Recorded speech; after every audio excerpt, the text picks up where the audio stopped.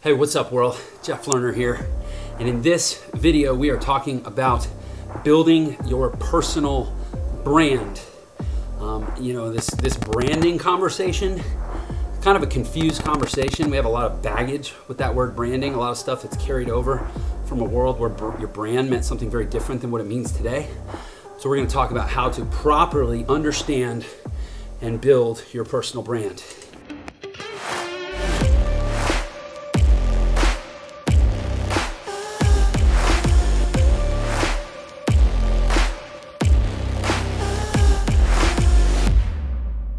So we're talking about personal branding. I'm going to start by telling you what is, I think, the coolest thing about personal branding in the world that we live in today. Is it used to be, well, there's, there's really two aspects to it that make it so cool. It used to be that your personal brand, or I'm sorry, just that, that a brand was this set of variables, right? Set of stuff that showed up in your marketing and and had to be sort of packaged and communicated and homogenized across all your touch points in the market. So things like your colors, your logo, you know, the aspect ratio of your logo and having a horizontal and a, and a vertical version of your logo and what fonts could be used in writing and again your color palette and we have this like this hangover about that that that's what branding is and we're like well what do, what do they mean now when they talk about my personal brand so I guess I need to get a logo made. Or, well, yeah, I mean that that might end up being part of it. It's not a, not a terrible idea if you're going to produce content or whatnot. But what's so cool now is that your personal brand is really just refining and I would say enhancing and optimizing who you actually are in the world in terms of how you want to be seen in the light of your business. That's your personal brand. Who do you want to be in this world? It's an opportunity. It's like I remember when I, I, uh, I switched schools after my sophomore year. I left this one school I was at and I went to a different school. And I'd been at the school that I was at since kindergarten, from kindergarten to 10th grade. I was 11 years in this school. And I felt like the whole school had already decided who I was. And I remember going to this new school and feeling like, hey, I have an opportunity to kind of decide, sort of change how I'm perceived and who I want to be known as. It doesn't mean like oh, I'm going to fake everybody out. It just means like I get a fresh start to, to define myself. You know, we're all known for certain things, right? That's personal branding, is in the world. It's like your first day of college and saying, all right, well, my high school self was sort of my lesser self. Now I'm going to decide who do I want to be in this world. I have a little more autonomy. I get to choose my classes. I get to choose my friends. I get to choose choose my living environment, to choose my major. I get to have more of a say in who I am in this world. That's personal branding. It's not fake. That's the problem. So many people get stuck feeling like it's like this fake contrivance to decide how you want to be known in the world. It's not. It's an opportunity. And the second thing that's so cool about it, so that's the first thing that's so cool about it, is it's like stuff that really matters in, in your own life and actually impacts your life. It doesn't just impact your business getting clear on your personal brand in your business, if it's an authentic personal brand, is going to carry through your whole life in a really positive way. The other thing that's so cool about it is that the reason business branding has historically meant things like colors and fonts and styles and logos and formats is because we were essentially trying to create pattern recognition in the consumer, right? we do all these things to create patterns. We say, oh, if it's if it's white and it's cursive on a red background and it's written a certain way, we want that to mean Coca Cola. You know, an apple with a bite taken out of it, we want that to mean Apple, right? Do all this work to spend millions and millions, companies spend billions of dollars just trying to get people to recognize their patterns, right? You're trying to tap into a certain part of the brain that creates those associations. Here's what's so cool about personal branding is there's already a part of the brain that's way better at pattern recognition than anything that big businesses could ever tap into, unless they do the same thing, which is facial recognition. The human brain has evolved over thousands and thousands of years, thousands of generations, to be so good at recognizing faces. You can, somebody, somebody can literally flick by you that fast If I thought, boom, Michael Jackson, that fast and he's gone, you oh, king of pop right there. You didn't, you didn't say, well, what? Let me, let me check the Pantone palette, see what his hair color was, and let me measure the gap between his nose and his upper lip, which hell, it changed seven times anyways. Like, no, it's just Michael Jackson. In fact, he even tried to mess up. His, I mean, I'm like I'm not like taking shots at Michael Jackson, but he intentionally reconfigured his face a number of times, and he couldn't break the pa- pattern recognition. If he was adhering to corporate brand standards, he was doing a very poor job because he was consistently changing his most recognizable aspect, and yet we still knew who he was. He still couldn't break the pattern. The human mind is so wired to identify people. Personal branding is the greatest hack in the history of marketing. You have to spend all this money to try to get people to associate colors and shapes and letters and fonts to your name or to your business. You got it right here. It's called your mug. For better or for worse, that one thing that you were given on the way out your mama's womb. You know, and, and I'm here to tell you, it don't have to be the best looking one out there. It's actually been proven that it hurts you if it is when it comes to personal branding. Even in Hollywood, they're not looking for the best looking guy or the best, the most beautiful world. They're looking for, what do they call it? They call it the it factor, right? They're looking for somebody that has that, that little bit of a twist, a little bit of a flavor that's not, it's maybe a classic beauty, but there's something, think about like Katharine Hepburn, think about, Angelina Jolie, any of these people we think of as a classic Hollywood beauties they're actually, they look different. They don't just look generically pretty. The ones who look generically pretty, they put them on models and nobody knows their name. They put them, or they put their models and they put them on catwalks. Nobody knows their name. You know why they want people that are generically pretty to be models? Because you'll be more focused on the clothes. But if they want you focused on the character, then even within the framework of beauty, physical beauty, they want people they look a little different, right? I'm telling you, the human mind is incredible when it comes to recognizing faces. So if you see it for what it is, oh my gosh, there's an opportunity. Instead of feeling the, the shame and the insecurity and the stigma and whatever I think about myself and my looks, look, I have a genetic condition. Called Waardenburg syndrome. Look it up. I'm not considered an attractive guy by the classical definition. Like if I went into a modeling agency, they'd hold rulers up to my face and be like, yeah, you know, maybe maybe try to make it in the theater or it's more about your personality, right? And yet, I have a pretty strong personal brand. It's getting stronger every day. The more what? The more what? The more I just put my face out there. Yeah. This, this right here, making my face big. That is building my business. How crazy is that? We live in a world where I just built my business because these tools, these distribution networks exist where you get your face out in front of millions of people for not a whole lot of money. I decided a little over a year ago that I wanted to do something a little different with my life. I've been a digital marketer for, I guess at that time, about nine, ten, ten years. Well, I guess I technically started this crazy thing back in 2016, but I got real serious about it in 2018 about building my personal brand. So at that point, I'd been an inter- internet marketer and digital agency owner. You know, between those two things, I've been doing that for about 10 years made plenty of money, you know, generated over $30 million in sales through the internet. So, like, I wasn't having to clock in every day, I wasn't having to go to work. I'm not a billionaire, but I'll tell you something about being a billionaire. One is, if you want to be a billionaire, start by making like 10 million bucks. If you have 10 million bucks, it's a whole hell of a lot easier to make a billion dollars than it is starting from scratch. And if you want 10 million bucks, start by making a million bucks. If you want a million bucks, start by making 10,000 bucks. That's how I did It took me four months of hitting it hard. I'm talking 14, 15 hour days teaching myself affiliate marketing, digital business. And first two and a half months, I lost money. Finally, I spent more money. Hey, babe.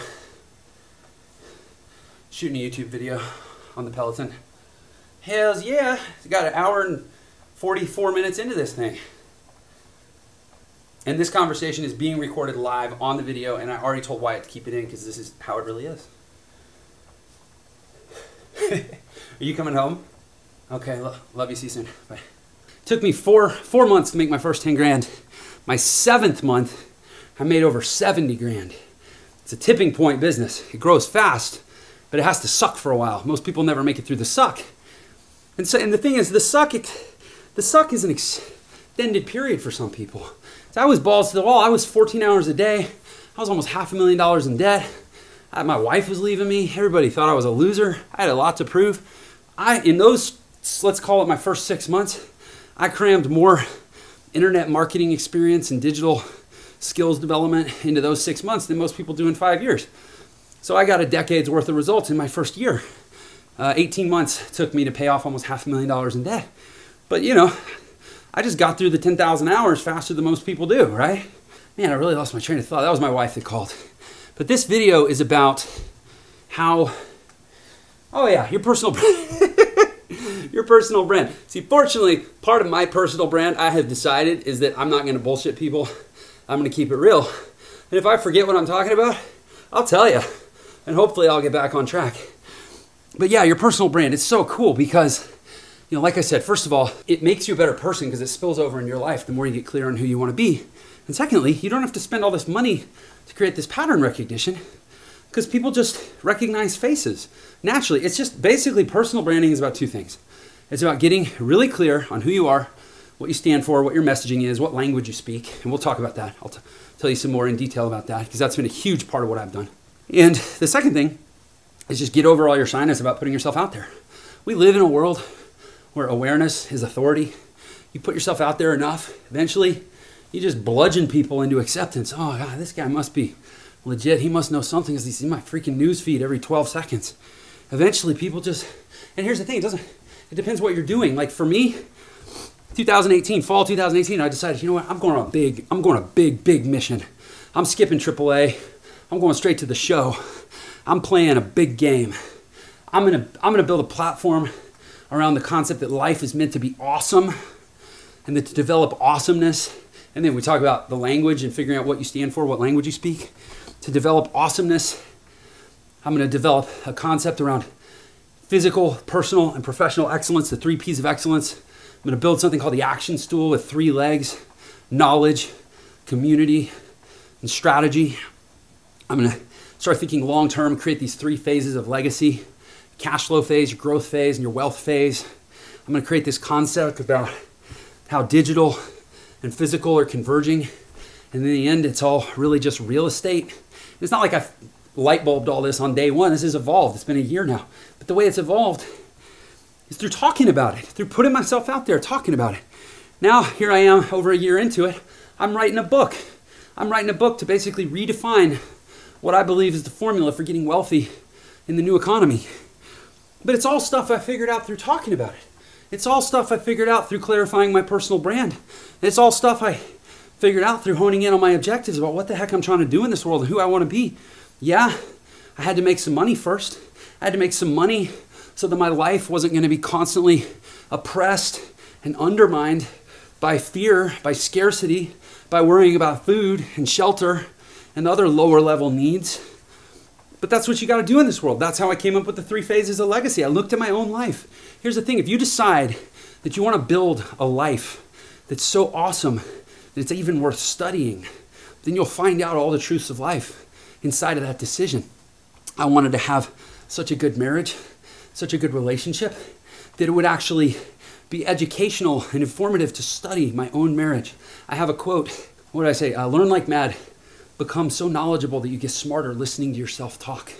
Like, commit to just the greatness of knowledge and implementation and make your life the laboratory where you prove out all these experiments about what it takes to have a great life. Your personal brand is just the documentation of those experiments, right? And it doesn't matter, this is where I was going with that, is it doesn't matter who you are, what your niche is. Last fall, I decided I'm going on this big play, right? I'm gonna go you know, quote, compete. And it's, a, I'm, I'm a big blue ocean thinker, so I don't really think of it as, I don't, I stay out of the, the bloody water. I, I see it as creating my own blue ocean of opportunity by synthesizing digital and uh, digital marketing, real estate, physical, personal, professional, holistic excellence, living it out, doing it through a real organic marketing strategy, not trying to be all polished. I'm gonna create my own blue ocean of amazingness, right? That's the approach that I take, but still, when it comes to the Facebook algorithms and the YouTube algorithms and the, the money that I have to spend and the, the bid auctions that I have to compete in, I'm still considered a red ocean competitor of Tony Robbins, Grant Cardone, Russell Brunson, Tai Lopez, James Altucher, Tim Ferriss, Dean Graziosi. The list is long. By the way, I know the list because I study the shit out of the list. I learned from these guys. You're never going to be great at something. Try to figure it all out in a silo by yourself. Learn from the people that have already blazed the trail for what you want to do, right? In order to compete in that ocean, I had to go big, or again, red, blue ocean, whatever you say. But in order to play that game, I had to go big. I put myself out there a lot of times. I've had videos viewed in the tens of millions now in over a year that I've been doing this. But here's the thing. Now, I, went to, I was at lunch with a guy the other day. He's a, a local real estate agent here in southern Utah. Southern Utah is, the, the main town is called St. George, but it's based in a market, a county that's got about 200,000 people in it. And I was joking with him. I was like, because he took me to lunch. He's like, Jeff, he's, he's, somebody I knew from a while back. He said, hey, can I take you to lunch? I want to kind of pick your brain and hear what you're doing. Because he, he's like, dude, I see you in my feed all the time. Like, and I know you're not just targeting St. George, you're targeting, you know, US, Canada, Australia, United Kingdom, and New Zealand. You call it, you know, the tier one big five countries. He's like, if you're showing up in my feed in St. George, Utah that much, given the game that you're playing, you must be going pretty big. And I want to take you to lunch and I'd like to hear about it. And I said, yeah, sure, let's do it. I said, you know, you and your peers are lucky that I don't decide to just sell real estate here in southern Utah. Because once you crack the code on this strategy, you know, I'm giving it a 10, 20 year run to go compete with the big boys in one of the biggest industries on earth personal and professional development, you know, business, entrepreneurship, business leadership. Like that's a that's a big sphere and it's global, right? What if I was local? What if I was a local real estate agent? What if I was a local chiropractor? What if I was a local plumber? What if I was a local electrician? What if I was a local pest control guy? What if I owned a a salvage yard and I wanted you to bring your scrap metal to me? What if I had a pawn shop? What if I had a restaurant? What if I had a food delivery company? What if I cleaned pools? What if I was a personal trainer? What if I was an attorney? There is no vocation that you could not give me that I would not go slaughter my competition. And I mean that in the most red ocean of ways. That I would not go slaughter my competition because of what I'm saying about personal branding.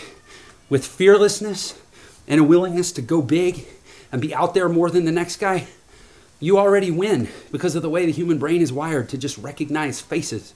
Whoever's face is seen the most in association with whatever the business does, if I wanted to put all the other mechanics out of business, I'd just plaster my face all over the internet.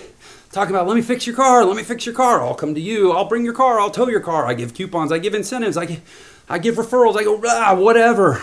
I'm Jeff Lerner, and I get the job done right. Like, we live in a world now where you tap into people's facial recognitions and you act confident and you act excited about life. Enthusiasm is like 95% of the game. Just be people's ray of light in their day. Make it so that your commercial, your video, your ad, your whatever, people go, I don't know what that guy was talking about. I like the way he made me feel. Maya Angelou said it. People forget what you do, they forget what you say, they never forget how you make them feel. And when, they, when she says they remember how you make them feel, what is she really saying? They remember your name? Are you great at remembering names? No. You're great at remembering faces. We all are. So, you want to build a business, you want to build a brand in this world? Figure out your face. Good news, you don't have to. It's already there, it's already worked out. Figure out your energy, be positive. Good news is that'll just make you better at life all around. Figure out your message, uh, what you stand for, what you have to say. We'll talk a little more about that. And then start putting yourself out there a lot. And you'll win. You'll win the battle because most people just won't do the work. Most people won't put themselves out there that much. Most people are too shy. They play too small. They think too small. So Grant Cardone's talking about when he talks about 10x thinking. He says, he's like, you know, people. I say 10x. People think I'm talking about doing 10 times as much work as the next guy. Well, that's a given. If you want to be great, you're going to have to out hustle, out scrap, outwork the next guy.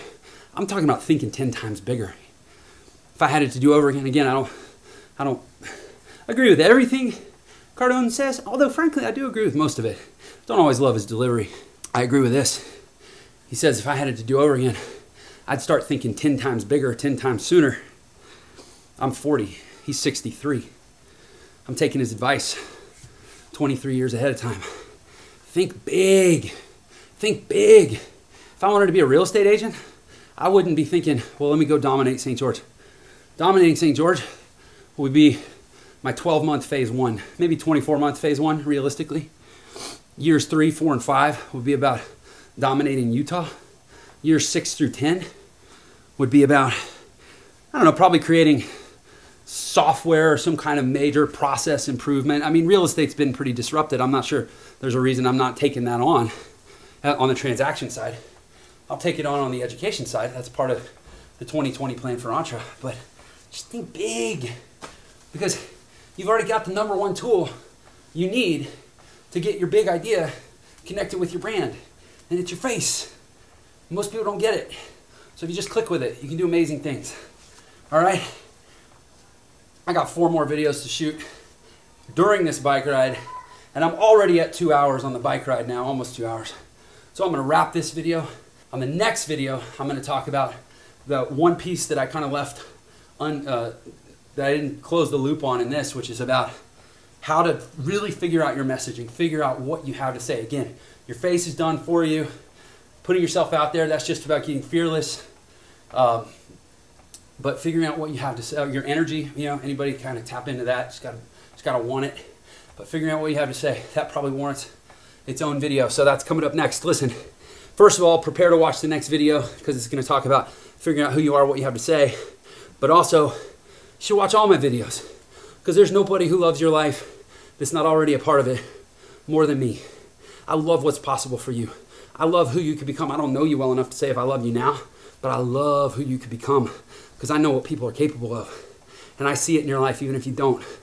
So if you want to talk more to somebody who sees what's possible for you, subscribe to my channel. Click the bell, get notified when I put out new videos, and watch as many of them as you can. Because I promise it'll take you a lot further than Seinfeld or South Park or Third Rock from the Sun or, geez, I'm dating myself. I don't know what are the big TV shows now. I don't watch them because I'm trying to build a, a life that's so fascinating that I'd rather be studying my own life than watching what people have to say on TV. Catch you next time. Hold that smile, Wyatt. Enthusiasm. Face. I'll see you on the next one.